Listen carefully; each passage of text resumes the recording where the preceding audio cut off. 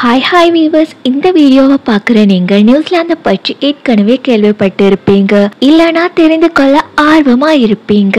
அப்படியும் இல்லைனா ஒருவேளை இங்கு பயணம் செய்வது அல்லது நகர்வதை பற்றி யோசித்திருக்கலாம். ஏன் நியூசிலாந்து மக்கள் வாழ்வதற்கு ஏற்ற நாடு? அப்படி என்ன ஸ்பெஷல் இதுதான் இன்னைக்கு இந்த வீடியோவில் வர இருக்கு. வீடியோக்குள்ள போறதுக்கு முன்னாடி நம்ம சேனலை சப்ஸ்கிரைப் பண்ணிக்கோங்க. பக்கத்துல இருக்கிற பெல் ஐக்கனையும் ப்ரெஸ் பண்ணி வார காலங்களில் வர இருக்கிற வீடியோஸ்களையும் பாருங்க. வாங்க வீடியோக்குள்ள போலாம். நியூசிலாந்து நாட்டை உலகத்தின் பெரும்பாலான மக்கள் தெரிந்து வைத்திருப்பது கிரிக்கெட் போட்டிகள் மூலமே. ஆனா அந்த நாட்டின் தேசிய விளையாட்டு என்னவோ ரக்பி தான் உலகத்திலே மகிழ்ச்சியான நாடு எது? அந்த நாட்டை என் கண்ணில் காட்ட முடியுமான்னு கேட்போர் யாரும் இருக்கீங்கன்னா இந்த வீடியோ உங்களுக்கானது. ஆம் மகிழ்ச்சியான நாடுகளின் பட்டியல்ல முதல் பத்து இடங்கள்ல நியூசிலாந்தும் ஒண்ணு. அதுக்குன்னு மகிழ்ச்சியான பாதைகள்ல கை வீசி நீங்க நடந்துட்டு போனீங்கன்னா உங்களோட ஆடுகள் தான் அதன் மொழியில பேசிக்கொண்டு வரும். ஜஸ்ட் ஃபன்க்கு தான் சொன்னேன். ஆனா ஐம்பது லட்சம் மக்கள் வாழும் இந்த நாட்டுல கிட்டத்தட்ட மூன்று கோடி செம்பரி ஆடுகள் இருக்கு என்பது உண்மை. பசிபிக் பெருங்கடலின் தென்மேற்கு பகுதியில் அமைந்துள்ள இந்த நாடு மிகவும் அண்மை காலத்துல குடியேற்றம் நிகழ்ந்த பகுதி. அதனால தான் என்னவோ பேர்ல நியூன்னு பேரும் சேர்ந்திருக்கு. இங்க மாவோரின்னு இனத்தை சேர்ந்த பூர்வ குடிமக்கள் வாழ்ந்துட்டு வராங்க. இவங்க கிட்ட ஒரு அற்புதமான பழக்கம் இருந்து வந்துச்சு. அது உடனே செல்லக்கூடிய பொருளாதார பரிமாற்றம். அப்படி என்ன இருக்குன்னு யோசிக்க யோசிக்கிறீங்களா உடுகின்ற பரிமாற்றத்துல மூன்று கொள்கைகள் கடைபிடிக்கப்படுது. ஒண்ணு ஒரு பொருளை மற்றவருக்கு கொடுப்பவர் மனப்பூர்வமா கொடுக்கணும். பதிலுக்கு எதையும் எதிர்பார்க்க கூடாது. இரண்டாவது வாங்கி கொள்பவர் அதை திருப்பி கொடுக்கணும். இல்லைன்னா அதை விட சிறந்ததை கொடுக்கணும். மூன்றாவது இப்படி பரிமாற்றங்களை தொடர்ந்து பழக்கமாக்கிக்கணும். யோசித்து பாருங்க எப்படியெல்லாம் நடந்தா நாட்டுல மக்கள் எவ்வளவு ஒற்றுமையா இருப்பாங்க. யோசிச்சுட்டு இருக்கிற நேரத்துல இன்னொன்றையும் சொல்றேன். இந்த நாட்டுல இது போன்ற பல பல ஆச்சரிய சம்பவங்கள் இருக்கு. உயர்ந்த வாழ்க்கை தரம் உலக அங்கீகாரம் பெற்ற கல்வி தனிப்பட்ட பாதுகாப்பு கண்ணியமான ஊதியம் மற்றும் இயற்கையின் நம்ப முடியாத அழகுன்னு நியூசிலாந்து பற்றி சொல்லிக்கிட்டே போலாம். மக்கள் இங்கு இடம்பெறுவதற்கு பல காரணங்கள் இருக்கு. இப்போது நியூசிலாந்து பற்றிய சில உண்மைகளை பார்ப்போம். நாட்டுல முப்பது வீதம் தேசிய பூங்காக்களா இருக்கு. ஆண்களுக்கும் பெண்களுக்கும் அறுபத்தி ஐந்து வயதுக்கு பிறகு ஓய்வு. சராசரி ஆயுட்காலம் எண்பத்தொரு ஆண்டுகள். ஆங்கிலம் மாவோரி மற்றும் காது கேளாதவர்களின் மொழின்னு மூன்று அதிகாரப்பூர்வ மொழிகள் இங்க இருக்கு. நியூசிலாந்தின் வாழ்க்கை தரம்.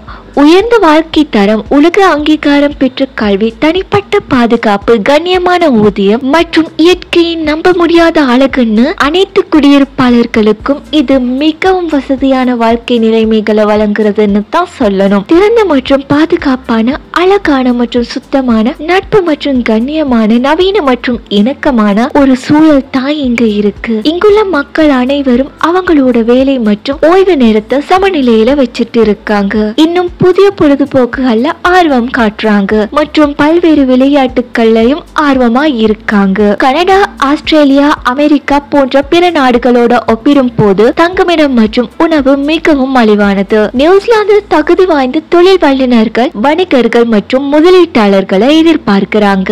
மேலும் நீங்க மற்ற நாடுகளோட ஒப்பிட்டு பார்த்தீங்கன்னா வாழ்க்கை செலவு சுற்றுச்சூழல் நட்பு பாதுகாப்பு நிலை மற்றும் விருந்தோம்பல் ஆகியவற்றின் அடிப்படையில நியூசிலாந்து பெஸ்ட்னு தான் சொல்லணும். சுற்றியுள்ள அனைத்தும் வாழ்க்கையை அனுபவிப்பதற்காகவே உருவாக்கப்பட்டிருக்கு. நியூசிலாந்தில் இயற்கை. மக்கள் மனதை நியூசிலாந்து இடம் பிரிக்க இன்னொரு முக்கியமான விஷயம் என்னன்னா நிலப்பரப்பு. இங்க சுத்தமான காற்று மற்றும் நம்ப முடியாத பச்சை புல் இருக்கு. வடக்கு மற்றும் தெற்குன்னு நியூசிலாந்து ரெண்டு தீவுகளா பிரிந்திருக்கு. வடக்கு தீவுல மலைப்பாங்கான பச்சை வயல்வெளிகள் மணற்கடற்கரைகள் பாறைகள் வெப்பமண்டல காடுகள் மற்றும் கடல்னும் தென் தீவுல பனிக்கட்டுகள் காடுகள் மலைகள் மற்றும் பனிப்பாறைகள் கொண்ட உயரமான மலைகள் தெளிவான ஏரிகள் மற்றும் ஆறுகள்னும் பிரிந்திருக்கு. நியூசிலாந்து மிகவும் மூடிய மற்றும் தனிமைப்படுத்தப்பட்ட சுற்றுச்சூழல் அமைப்பை கொண்டிருப்பதால தாவரங்களும் விலங்குகளும் இங்கு தனித்துவமானதுன்னு சொல்லலாம். இது குறிப்பா சுற்றுலாவிற்கு சிறந்தது. ஆபத்தான தாவரங்கள் பூச்சிகள் மற்றும் விலங்குகள் இங்க இல்லைன்னு சொல்றாங்க. நியூசிலாந்து அரசாங்கத்தோட நோக்கம் என்னன்னா நூறு வீதம் தூய்மையா நியூசிலாந்த வைத்திருக்கணும். நியூசிலாந்துல நீங்க முன்னேற மற்றும் தொழில் ரீதியா வளர நினைக்கிறீங்கன்னா அவர்கள் எல்லா விஷயங்கள்லயும் உதவவும் ஆதரிக்கவும் ஆலோசனை வழங்கவும் மகிழ்ச்சியாக இருப்பாங்க. நியூசிலாந்துல வசிப்பவர்கள் நாடு தங்களுக்கு வழங்கும் வாய்ப்புகளை உண்மையாக மதிக்கிறாங்க. நியூசிலாந்துல ஓய்வு. நியூசிலாந்துல சுற்றுலா பரவலாக வளர்ந்திருக்கு. மேலும் முக்கியமா இயற்கை மற்றும் தீவிர விளையாட்டுகளோட தொடர்புடைய நாடு. நீங்க பாலத்துல இருந்து பங்கி ஜம்பிங் ஸ்கை டைவிங் அல்லது பரசூட்டிங் சர்ஃபிங் சைக்கிள் ஓட்டுதல் மோட்டார் சைக்கிள் ஓட்டுதல் மற்றும் பலவற்றில் ஈடுபடலாம். தனித்துவமான இயற்கை பூங்காக்கள்ல நடைப்பயணம் மிகவும் பிரபலமானது. இதற்கென அனைத்து வசதி வாய்ப்புகளும் அமைக்கப்பட்டிருக்கு. மாணவர்கள் குடும்பத்தினர் மற்றும் உள்ளூர் வாசிகள் மற்றும் சுற்றுலா பயணிகளுக்கு இது ஒரு விருப்பமான விடுமுறை இடமாகும். இன்னொரு விஷயம் என்னன்னா உலகின் பல நாடுகளின் உணவு நீங்க இங்க காணலாம். இந்த குட்டியோன நாடு உலகமே வியந்து பார்க்கும் வகையில சமீபத்துல ஒரு சட்டத்தை அமல்படுத்தி இருக்கு. கருச்சிதைவுக்கு ஆளாகும் பெண்களுக்கும் அவரின் கணவருக்கு சம்பளத்தோடு சேர்த்து விடுமுறை அளிக்கும் சட்டம் தான் அது. பெண்களுக்கு ஆறுதலாக துணை தேவை என்பதால அவங்களுக்கும் விடுமுறை. எப்படி இந்த யோசனைன்னு கமெண்ட் பண்ணுங்க. பெண்களுக்குன்னு முதன் முதல்ல வாக்குரிமை வழங்கிய நாடும் நியூசிலாந்து தான். மக்களுக்கு மட்டுமில்ல